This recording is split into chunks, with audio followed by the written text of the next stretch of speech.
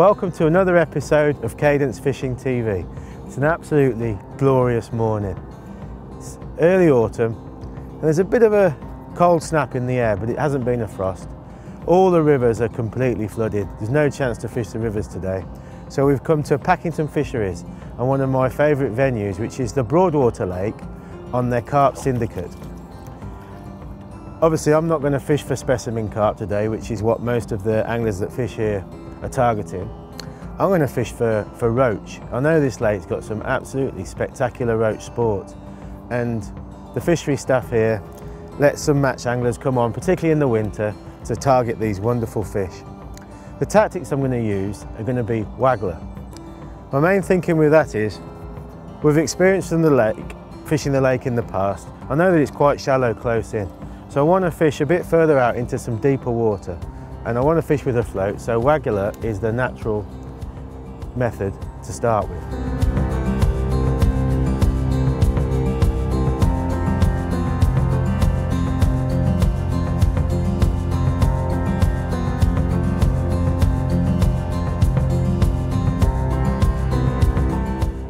Okay, so let's talk about the wagglers I'm using today. If you're new to fishing and you want to learn more about waggler fishing, check out our basic introduction video on waggler fishing. So this is a little bit more advanced and you can see I've got a good selection of quite large wagglers here. Nearly all of them are bodied wagglers. I think perhaps body wagglers are a bit of a lost art really. Um, perhaps because the poles become so prominent, waggler fishing perhaps on lakes has declined a bit. But today, because I'm going to start off fishing around about 25 metres out, um, I'm not sure where the roach are going to be. Maybe they'll come closer during the day, but I'm going to start off fishing about 25 metres out. And I know the depth's around about eight foot. I will plumb up and I'll explain how I do that in a bit. So straight away, I need to be fishing with a float with a decent capacity. And something like this waggler, I think is going to be my first choice. That's a, a bodied waggler and it's semi-loaded. You can see the lead there that's been inserted into the body of the float. And then I've got my locking shot there, which is 3BB. Um, so obviously it's got a balsa body and it's got a peacock stem and a cane insert.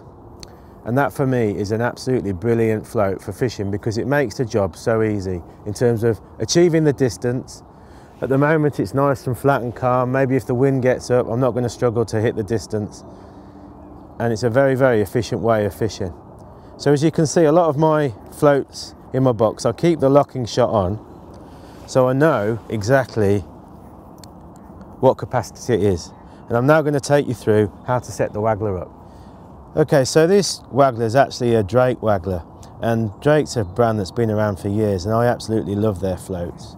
They're such high quality and I think the way they fish, the way they cast is absolutely beautiful. And you'll see that this loaded float, it's actually got a swivel incorporated into the bottom and I'm going to utilise that. Goes against what I normally do where I normally have a quick change adapter on the waggler but I'm pretty confident that I'm going to be using this waggler. Um, I can change the top if I need to which I'll show you about later.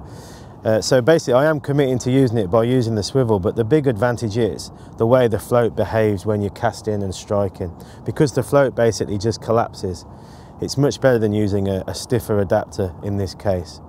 Now if you just have a look at the float itself, you can see the capacity. Now if this float was unloaded, it would have a, a capacity around about 6 AAA. But as you can see here, it's got loaded 5.5 AAA plus 3BB. So I'm going to use 3BB to lock the float in position. And just incidentally, I'll mention the shot I'm using. Obviously, they've got to be non-toxic but I'm using this, the Dinsmore Twin Cut shot, which is non-toxic, but I think it's the best out there because it's got a wonderful coating that doesn't seem to damage the line as much as some of the other non-toxic shot. So I'm simply going to trap the waggler with those BBs. I'm trying to line everything up so that it's all in the same direction. Just makes everything a bit neater. And obviously, most of the time when you're waggler fishing, certainly fishing with a fixed waggler, you're putting the vast majority of the shot, the bulk shot around the float like that. Then I'm going to add two number eights either side of those BBs just to lock them. And then I'm going to put some dropper shot down. So I'm going to do that and I'll come back to you and show you the finished rig.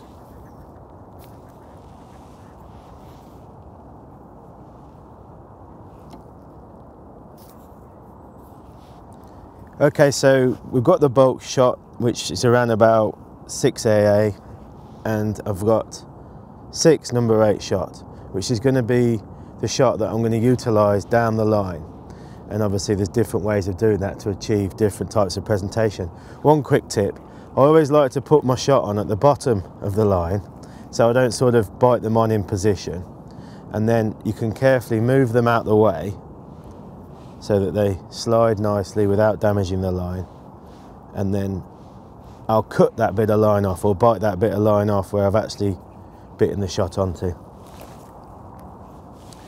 Okay, so I'm going to move all those up underneath the float and I'm just going to very quickly check that the I've got the, the float absolutely dotted perfectly because even though it's a big float, I want to make sure that I'm fishing it as sensitive as possible and I can register the bite. So you can see there that with those number eight dropper shots, I've only got, you know, a fraction of an inch showing above the surface. Okay, so a question we often get asked is how do you plumb up when you're fishing with a waggler? And that is important when you're fishing on a lake like this, particularly if you don't know it. I've fished a lake before, so I've got a fair idea. But what I do is I've got all my shots, including the dropper shot around the float, and I'm just gonna simply pinch a, a swan shot on as a plummet, and then obviously cast that out to the area that I'm planning to fish, and give myself a, a good idea of the depth. It's not gonna be as accurate as fishing on a pole, but it's gonna be enough. And obviously during the session, we'll adjust the depth anyway to find out how best to present the bait. So with the swan shot on, it's not too heavy to disrupt the flight of the float and I can get the float out to where I'm fishing and obviously if I'm not fishing deep enough that's going to pull the float under. But as you can see, I don't know if Chappie can pick up the float showing so I know that swan shot's on the bottom. And I'll just play around a little bit now to get the actual depth then I'm going to start fishing. Actually, before I do start fishing, I better tie a hook length on, and I thought that would be an interesting thing to show you quickly. Um, I don't favour using swivels or anything when I'm waggler fishing. And the hook length I'm using today is this 011 Vest Pro line. I might step up if we're really catching well, but I think 011 is going to be a good compromise between obviously finesse catching roach, but not being too fine. And that would give me a breaking strain of around about two pound. And the, the way I tend to tie nearly all my hook lengths is I don't like to do, use a, a loop to loop. I just do a figure of eight knot, which I might have to show you again in close up. But what the figure of eight knot does is, it gives me a very strong reliable knot that is very, very neat. So it doesn't hamper my presentation in any way, and I think it helps to reduce tangles. So I'm now just gonna simply tie my hook onto that. And to start with, I'm gonna go with a, a 16 carbon match, Drennan carbon match. So again, I'm starting fairly positive. If I find the going is a bit tough, then I can always scale down to a lighter hook length and a, and a smaller hook. And I, apart from when I'm fishing on the pole, maybe when I'm bloodworm fishing, I actually prefer to tie most of my hook lengths on the bank because I can get them exactly how I want them. I can adjust the length of the line to what I want. And again, I've got that very, very neat connection between the hook length and the main line. Well, the depth is around about six foot and a good tip is just to sort of make a mental note from, I like to put my hook in the keeper ring on my rod and count the guides. So basically the depth is one guide before the tip section. So I've got a reference to come back to if I need to later in the day. And to start with, I'm going to start off with a shotting pattern where I've got three number eights bulked around about half depth, two number eights below. So hopefully that little bulk will give me a registration on the float and then a nice presentation on the drop.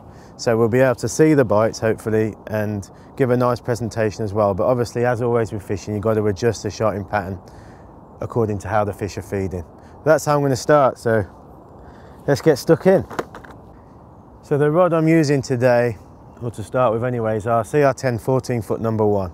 And I like to use a slightly longer rod when I'm float fishing on lakes, particularly where it's a little bit deeper and when I'm fishing at range. Just makes the job so much easier than using a, a shorter rod.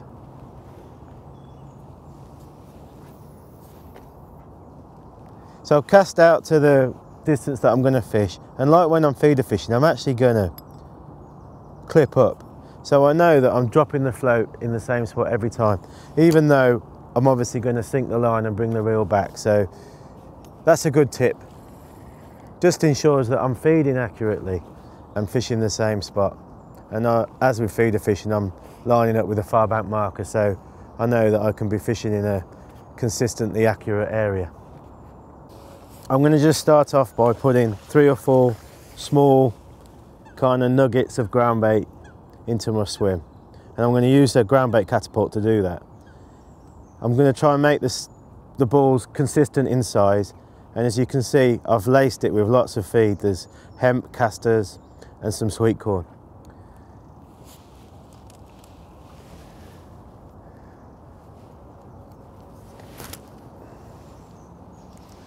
I'm just trying to hit the same spot and hopefully this will just give me a good start by attracting some fish into the area.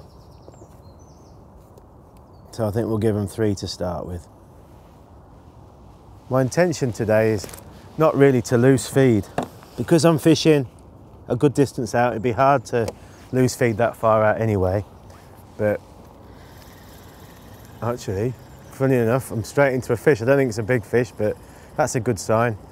It's a small roach, so that fish came straight onto the balls. Oh, it's a little tiny skimmer.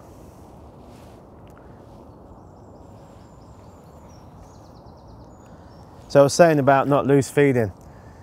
I want to try and fish at that distance accurately and efficiently and uh, also by loose feeding, I might bring the fish up in the water and I want to try and target the slightly bigger roach today. So I'd only probably consider loose feeding if I could draw the fish closer in and perhaps the going was a bit harder and I was just trying to catch on the drop as well.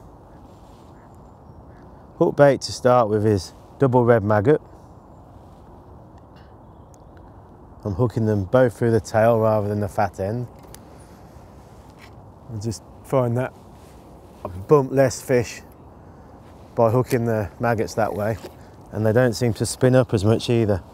And I'm just going to be quite positive and fire another ball out as well.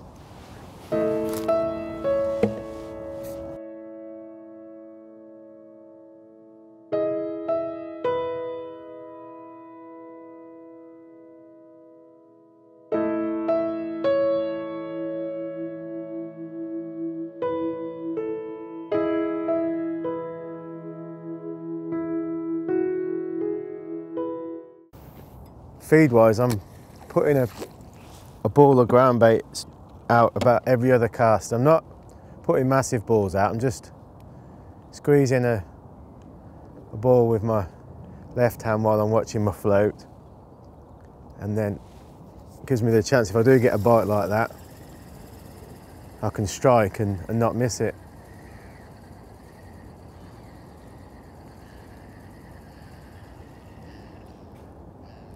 A beautiful roach.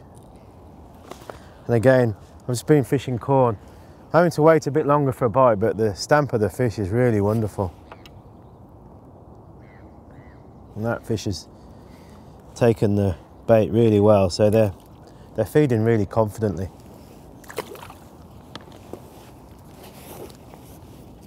Obviously the, the good capacity and style of the float means I can achieve the distance really easily. So I'm just doing a typical sort of overhead cast, just compressing the blank nicely by both pushing and pulling the handle during the cast. The float's going out to the clip and I'm just doing two or three turns to sink the line.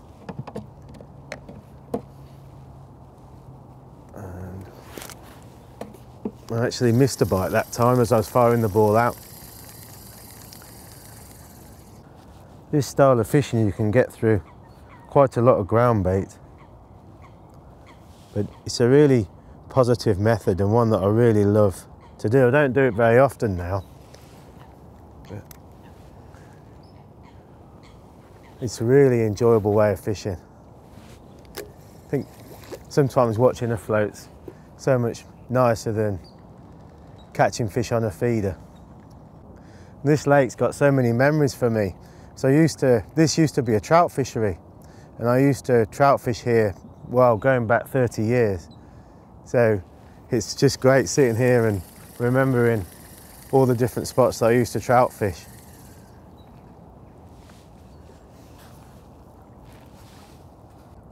Don't know if Chappie can pick up on the float, but I've got three number eights as a, a mini bulk now and one number eight dropper. And it is helping to register the bites and that's really important when you're waggler fishing like this. It'd be difficult to fish with a, a much bigger bulk than perhaps six number eights because what you get is you get the, the bulk counteracting the, the float and if I did want to fish with a bigger bulk, perhaps in a deeper swim, I'd probably be tempted to fish with a slider rather than a fixed float like this. So, but this this this rig's working really well. It's easy to cast, and I'm picking up the bites really nicely.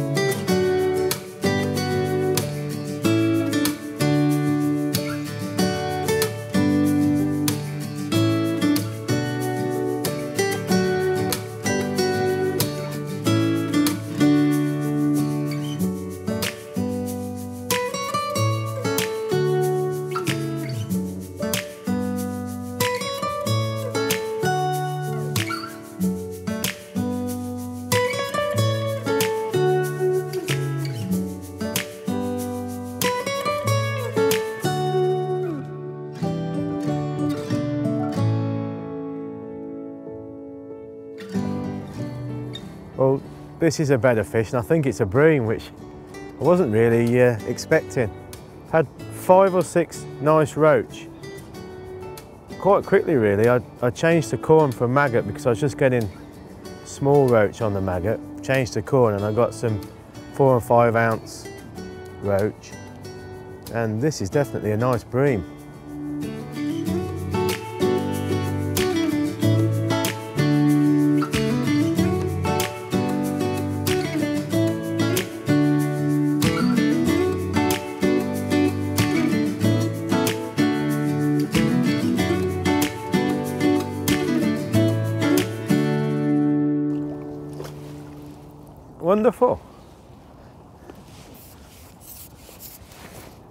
Be good fun if we can get a net of those.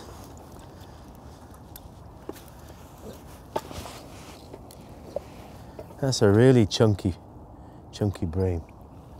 I'll just try and hold him up for you.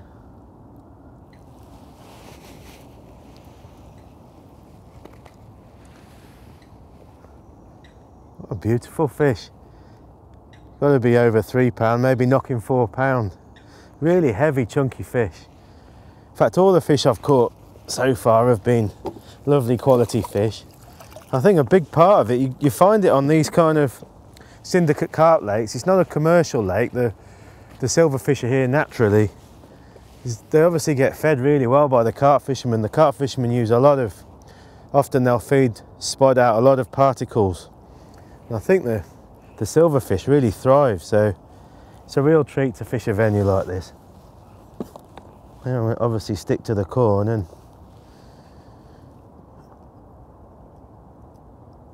I'm still using a 16 carbon match. If I keep catching on the corn, I might step up to a size 14.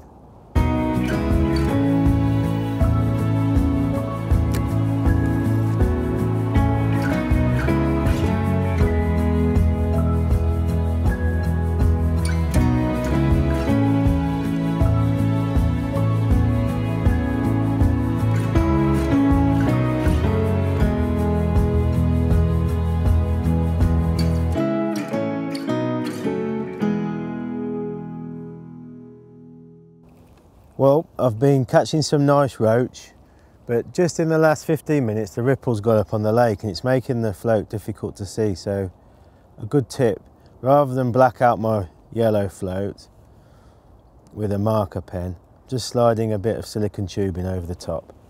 So that black will hopefully stand out better against the lighter ripple. And I was just struggling to spot my float a little bit then. I'm sticking with corn and I've still got the 16 Drennan carbon match which for a 16 is actually quite a big hook. I think it's really a, a 14 I'm not doing anything special with hooking the corn but what, one thing I would do is would say is I like to try and hook it so the corn is in line. If I hooked it sideways that's going to cause line twist for sure with my hook length so I'm not really burying the hook too much. The fish are feeding quite positively, so I'm just nicking it in the top like that. And I keep, I've been trying casters and maggots as well, but there's definitely a lot of smaller fish out there, and the corn has been much more selective at picking out the, the bigger stamp. Well, one thing that has definitely proven so far today is I've got to feed really quite regular. As soon as I stop feeding for any length of time, even just five minutes, I just stop getting bites. So the, the fish are really responding to the ground bait and I think there's clearly a, a big shoal of fish out there and to keep them in my baited area, I need to keep topping up. They must be pretty much eating everything that I'm firing out very quickly. Quite often I fire a ball out get a bite almost straight away. So the fish are obviously coming to the ball, coming to the splash. And again, I've, I referenced it before, but I just wonder if that's got something to do with how the carp anglers feeding lots of bait and the, the silverfish, the roach and the bream are maybe accustomed to, to homing in on it really quickly and really confidently. Depth wise, I'm fishing at the moment around about just about six inches over depth. And that's something to bear in mind when you're waggler fishing on a big lake like this. If, if the wind does get up and the, the lake starts towing, you need to anchor the bait on the bottom a lot of the time. I think the, the corn's helping me do that with it being a heavier bait. And I'm letting the bites develop as well. So I'm not hitting all the little knocks and kind of plucks at the bait. I'm waiting for a, more positive bite. Difficult to do that with the maggot and the caster because obviously they'd probably damage the bait and that would be it, you'd miss the bite. But with the corn, I think you've got the chance to definitely leave the bait in a bit longer when you're getting a bite. Even though I'm fishing at quite long range, you might notice that I'm not really striking very hard. I'm I've obviously got quite a tight line because I'm, I'm casting, feathering the line, retrieving the line back to sink the line. And really, I don't need a, a big sweeping strike. I think using the 14 foot number one helps because it's got a very crisp action with a nice soft tip and middle. So it's not like I need to do a really harsh strike to set the hook. It's more of just a lift really.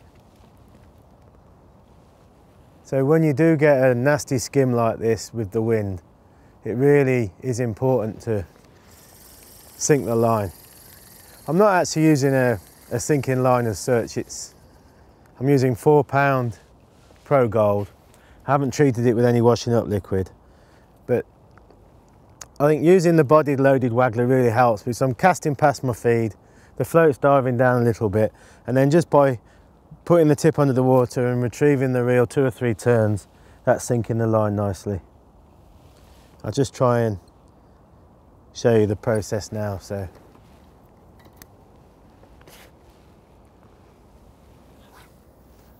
Not actually feathering the line because the line is hitting the clip and I'm just sinking the line. So when I'm feeding the balls, I'm obviously firing and aiming at the float and that's after the float settled. Oh, I just got that one then. So that's once I've cast the float out, sunk the line, and then I aim the balls of ground bait at the float. And I'm trying to be as accurate as I can, but for sure it's not going to be as accurate as if you were fishing with a pole. But I don't think that's a bad thing when you're catching really well like this. There's obviously a big shoal of fish out there and I reckon I'm probably feeding an area that's around about five meters in circumference. So what you can do is you can actually find that you can pick off fish from different parts of that area.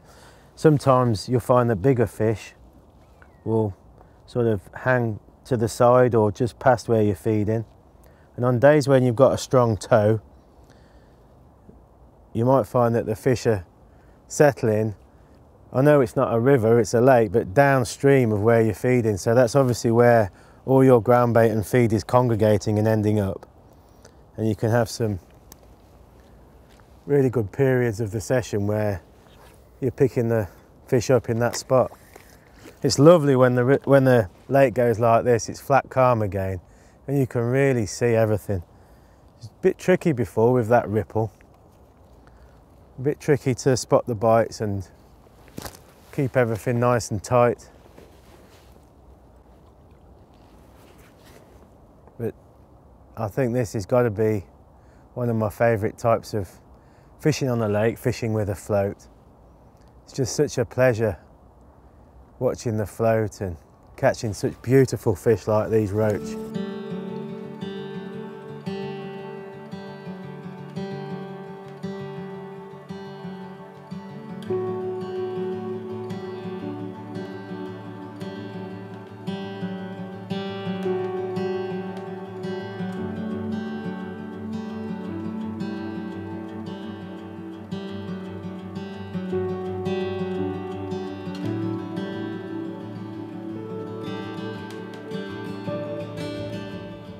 Right then, so as the session's progressing, I'm actually going to try and put into practice what I was saying. So I'm going to cast this time a little bit to the left of the feed area.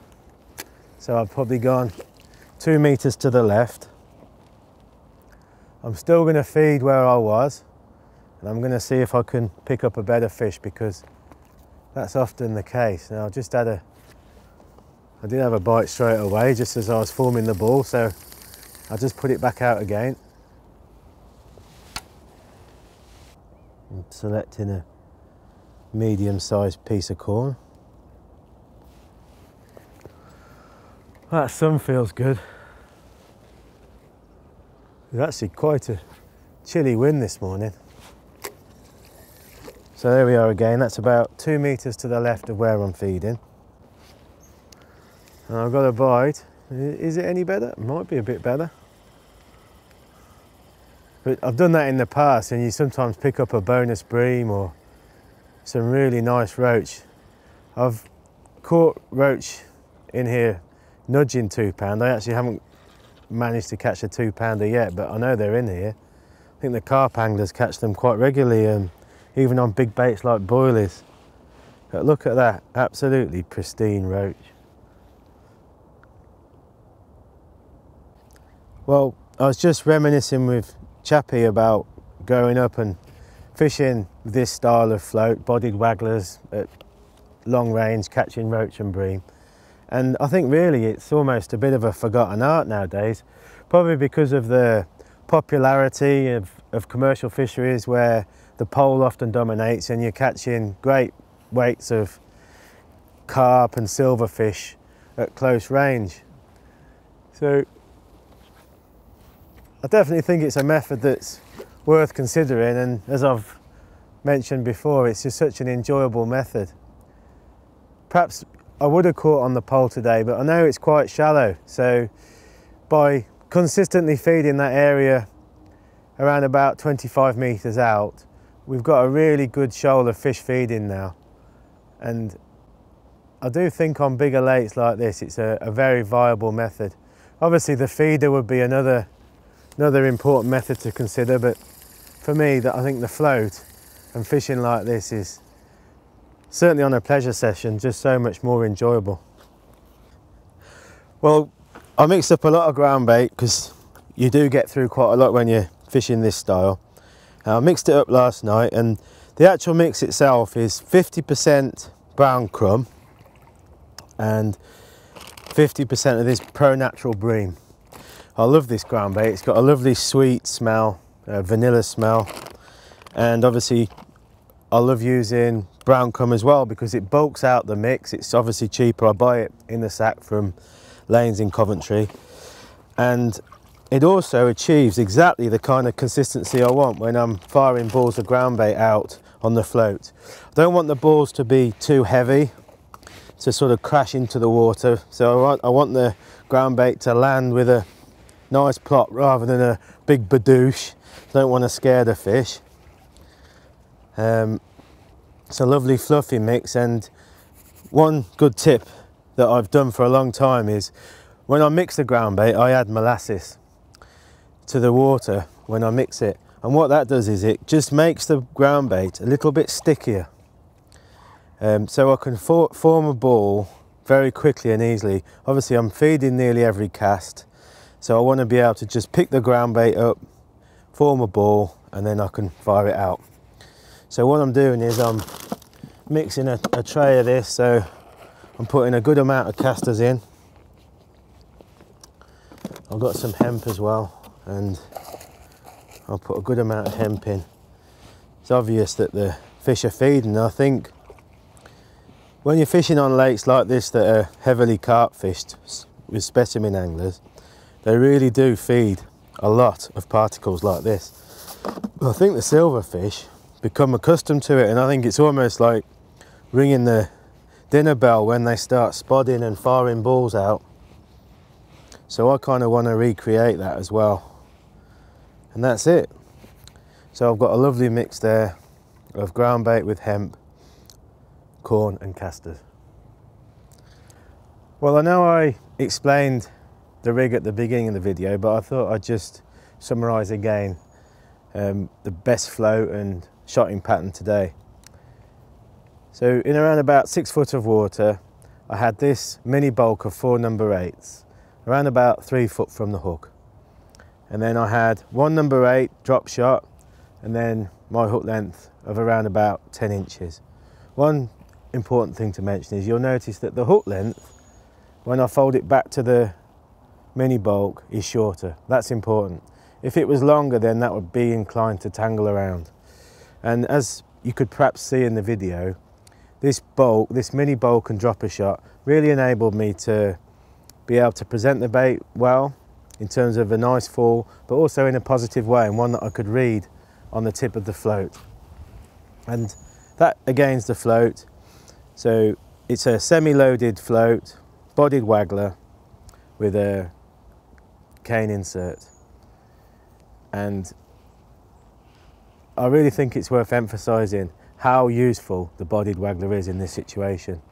As I think it was Billy Lane said in his book, you want to boss the water. And having a float like that with a good capacity, very streamlined, cast like a dream, makes fishing at range like that today very, very easy. If I'd used a lighter float, I think I'd have struggled, particularly when the wind got up like this. So that was the number one choice today. I thought I'd show you some of my other floats as well. That's a larger version. So that's actually, I suppose, the equivalent of around about 8 AAA.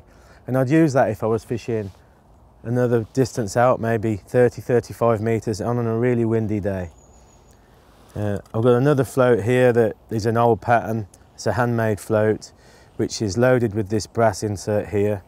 And that's a bit more of the sort of classic onion type body shape, which is great when you've got an undertow and you want to get your flow out and underneath the surface skim. It's got a nice long antenna to help register the bites and also help you get underneath that surface tow. This is another favourite pattern of mine. Again, it's a Drake float. Uh, this one's a smaller capacity and it's got a more elongated, streamlined body. And I use that when I'm not fishing so far out. And it's also actually a great float that I use on occasions on the river when I want to fish with a bolt waggler. That float works really well. Last one to show you is this, and this is an unloaded float. It's got a fantastic body again, so it's got a wonderful capacity. And nowadays I tend to use that when I'm fishing a slider and I think that would make a, a great subject for another video in the future.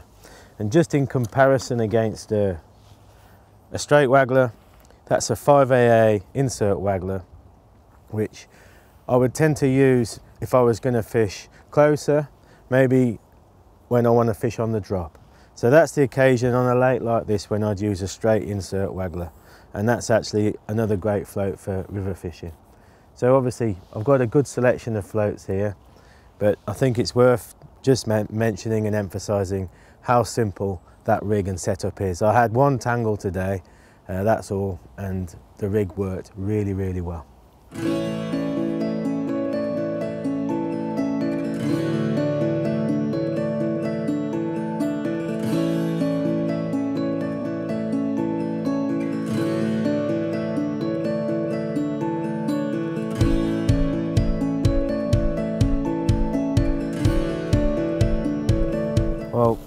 I'm absolutely loving this session. We just had a period where it went quite cloudy and windy, which made things a bit more difficult, but we, we continue to catch some beautiful roach. Haven't caught any more bream. That big bream we had at the start seems to have been a bit of a flash in the pan. And I've had to keep feeding. I know I've already mentioned it, but that's been a really key factor today. I've got through three and a half trays of ground bait now, a couple of pints of maggots and two cans of corn. So it just shows really how positive I've had to feed it today. I think in a couple of months, once we've had a few frosts and the temperature drops, I'd change my feeding, obviously be a bit more cautious, probably feed less ground bait and maybe loose feed a bit more as well. But this is just absolutely frantic fishing and absolutely brilliant. I know some of my friends that fish over in Ireland in the festivals. Fishing like this is still a viable method over there in matches. Obviously, you don't see it used so much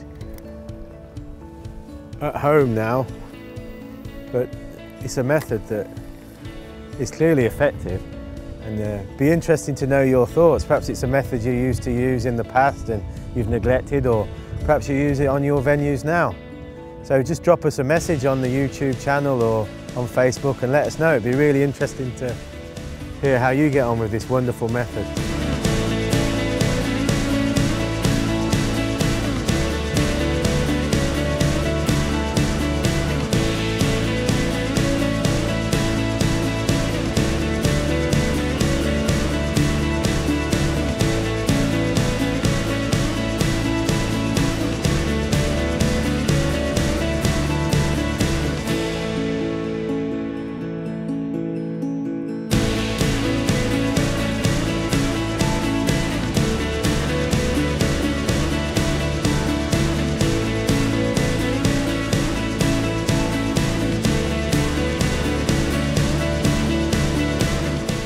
What a fabulous way to end a fabulous session.